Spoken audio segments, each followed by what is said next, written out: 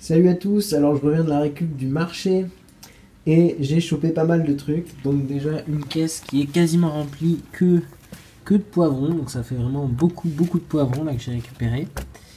Et euh, en dessous on a aussi du raisin, un super bon raisin. Poivron jaune, poivron vert, poivron rouge et raisin blanc. Et j'avais aussi récupéré du raisin rouge, donc il y a les deux. Et d'ailleurs, je voulais vous demander si est-ce que euh, l'un d'entre vous a déjà tenté de congeler des poivrons, parce que là j'en ai beaucoup. Donc je vais, je vais probablement devoir les congeler. Donc si vous avez déjà tenté l'expérience, ben, n'hésitez pas à me faire des retours pour voir si le poivron se, congèle bien. Et après, j'ai récupéré une caisse entière de ça. Alors je dis ça parce que j'ai absolument aucune idée de ce que c'est. Et donc, euh, s'il y en a, je sais qu'il y en a qui sont très forts pour trouver les, les légumes et les fruits. J'ai déjà posé plusieurs questions, on m'a répondu.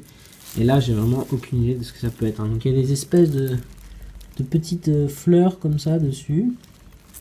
Et après, c'est des, plantes euh, voilà, assez grandes comme ça. Alors, c'était apparemment, c'est pas juste des fans qui étaient achetés. Hein. Ils étaient bien. Euh, regardez, il y a bien un fagot. Enfin, ça c'était bien quelque chose à vendre. Ils étaient dans des bacs pour être vendus. Ils ont été jetés. Mais je ne sais absolument pas ce que c'est. Je vais probablement en faire de la soupe, mais dites-moi si vous savez ce que c'est, vous avez une meilleure idée de, de ce qu'on peut en faire.